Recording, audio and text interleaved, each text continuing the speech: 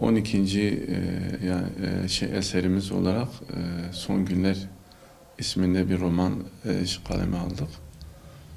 Rabbim hayırlara vesile kılsın inşallah. Son Günler e, eserimizin e, konusu Üstad Bediüzzaman Hazretleri'nin son üç günü, dört günü. Yani e, Urfa günlerini anlatıyor.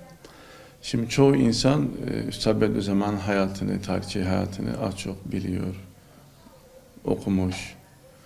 Özellikle CHP döneminde e, Milli Şef e, yani döneminde 1925'lerde, 30'larda Üstad Bediüzzaman Hazretleri'nin çektiği acıları, çileleri, sıkıntıları, zindan hayatını, zehirlenmesini e, halkımız, gençlerimiz, okuyucularımız az çok şey biliyorlar. Ve ne yazık ki birçok e, okuyucu insan Üstad Bediüzzaman'ın e, özellikle demokrat hükümet e, vaktinde zamanında rahat bir hayat sürdüğünü, rahat bir şekilde e, ömrünün son e, dönemli günlerini rahat bir şekilde huzur içinde geçirdiği, şey, geçirdiğini sanıyor. Ne yazık ki böyle değil. Üstad demokrat hükümet vakti zamanında da ki büyük sıkıntılar, acılar ne yazık ki şeyler çekmiş, çileler çekmiş. E, Üstad Bediüzzaman ölüm döşeğinde e, olduğu halde e, Urfa'da, Peygamberler şehrinde, yurdunda, Güneydoğu'da, Kürdistan'da e, hayata gözlerini yummak e, istiyor. Fakat e, o yani o vaktin e, rejimi, dönemin e, demokrat hükümeti özellikle CHP'den de e, laikçilerden de korktuğu, çekindiği için Üstad'ın İsparta'dan Urfa'ya gitmesine müsaade etmiyor. Üstad çok ağır hasta olmasına rağmen e, ki zaten üç gün sonra da hayata gözlerini yumuyor.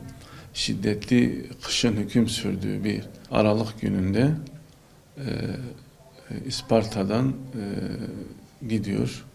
E, gizlice e, arabayla 3-4 öğrencisiyle beraber e, Urfa'ya e, gidiyor. Gizlice gece yarısı e, yolda birçok e, kontrol e, noktasından saklanarak e, Urfa'ya gidiyorlar. Urfa'da e, otel odasında ölüm döşeğinde e, olmasına rağmen dönemin İçişleri Bakanı valiye emrediyor, talimat veriyor. Diyor ki bir çöp arabasıyla bile olsa e, Bediüzzaman'ı Said Nursi'yi oradan Urfa'dan e, atın diyor. Ve Üstad e, orada vefat ettikten 3 ay sonra, 4 ay sonra da e, askeri darbe oluyor. Askeri darbe yapanlar da Üstadın mezarını e, şey, şey yapıyor yani kırıyorlar, parçalıyorlar ve onun e, yani mübarek vücudunu bilinmeyen bir yere e, şey yapıp götürüyorlar. Şu an e, Üstad Bediüzzaman'ın da ki Şeyh Said'in de mezar yerleri belli değil. E, ben e, özellikle son günlere, Üstad'ın son günlerde de büyük sıkıntılar, çilere çektiğini e, şey anlatmak için gençler özellikle bu konuda gençleri aydınlatmak için bu eseri yazma gereği duydum. E, bizim Şeyh Said gibi, Üstad e, Bediüzzaman gibi, eski bir Atıf Hoca gibi, Muhammed Akif Ersoy gibi e, tekrar İslam'ı, İslami değerleri, öğretileri canları pahasına e, e, birçok sıkıntıya, zorluğa, musibete katlanma pahasına bu ülkeye, bu topluma hakim kılma e, yani şeyini veren, hakim kılma mücadelesini veren büyük önderleri tanıma, bilme, e, onların yolunda gitme e, şey ihtiyacımız var. E, o anlamda Üstad Bediüzzaman'ı, onun son günlerini gençlerimizin e, okuması gerekiyor. Ki inşallah bundan çok dersler ve e, e, çok dersler ve ibretler çıkaracaklardır. Ne yazık ki bugün gençlerimiz, genç nesil e, meşhur batılı yazarları, aydınları, sanatçıları, aktörleri veya da ülkemizde bilinen, tanınan e, aktörleri, sporcuları biliyorlar. Onların hayatına ilgi duyuyorlar. E, gecelerini, gündüzlerini onlarla meşgul ediyorlar.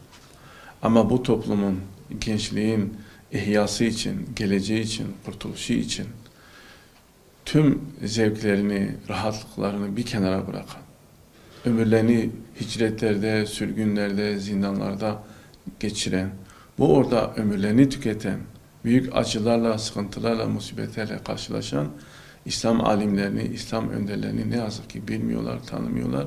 Onların hayatına da ilgi duymuyorlar.